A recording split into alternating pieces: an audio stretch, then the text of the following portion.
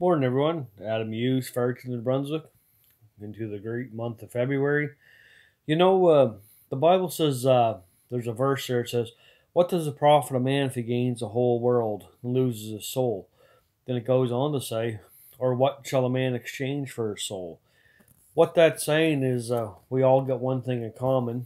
When we all pass on from this life, we all stand before God in judgment.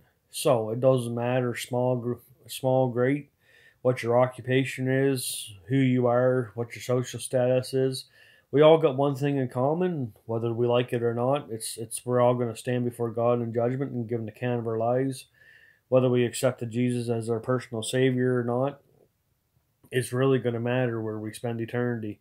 So what happens when we die is we die, and a lot of people say, well, all all that happens, Adam, is we die and we get put in the grave, and that is very that's 100% true, but there's a soul that lives within us, and the soul comes out of the body after we pass on from this world, and uh, we all, and our soul lives on in eternity in one place or the other, either heaven or hell, and we stand before God in judgment the split second that we uh, pass away from this life, and God judges us. And if we're not ready to meet God, uh, it's uh, it's pretty paramount that uh, we'll be separated from God for God for eternity. See, Jesus Christ took care of that problem on the cross. He died for your sins and my sins, so that we all could be uh, uh, forgiven and that we could all spend eternity with Him and not have to be separated from Him for eternity.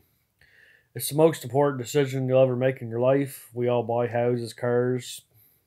Some of us have children we all make decisions, important decisions like that in life, but the, the most important decision you'll ever make in this life while you're here is whether you accept that Jesus Christ as your personal Savior or not.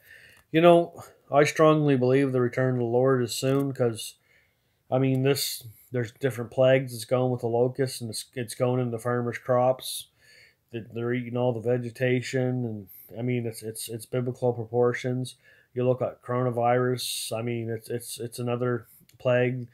That's uh you know it's it's like as uh the bible speaks about plagues and stuff.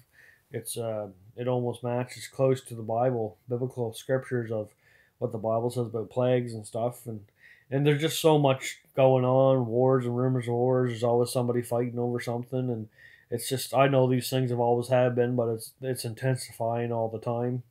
It's not slowing down. And the the day of the lord is at hand I don't know how much time we have left. I'm not sitting here predicting it. Not going to get into that foolishness because no man knows the day or the hour. Not even Jesus. Only his Father God in heaven knows when, when the time is. Uh, it's short though. Jesus is coming. He loves you. Died on the cross for you. Not that so that none should perish. But uh, we all got one thing in common, folks. We're all going to stand before God and see my grandfather pass away. He was 84. I'm 38 it just go it just went to show me how fast we're here then we're gone. We don't know. We could be taken out with sickness. We could t- be taken out in uh, in anything you know some kind of an accident or anything can anything. Nobody's guaranteed tomorrow so that's why we have to be right with god you know? And uh, live your life love the lord and uh, you know make that choice and that decision anyway. A lot of people think it's foolish. It's it's irrelevant. You know, I wish I actually don't wish I could tell you otherwise because everlasting life with Jesus, eternal peace, uh, no more sickness, no more sorrow. The lion will lay down with the lamb. You know, mansions on high. Who who who in the right mind wants to stay behind here and and the, the way this world's going. But anyway, you make the choice. I just put it out there. The Bible says, and you make the choice. I can't make the choice for you, but Jesus loves you. Thanks for watching. Take care, and uh, be safe.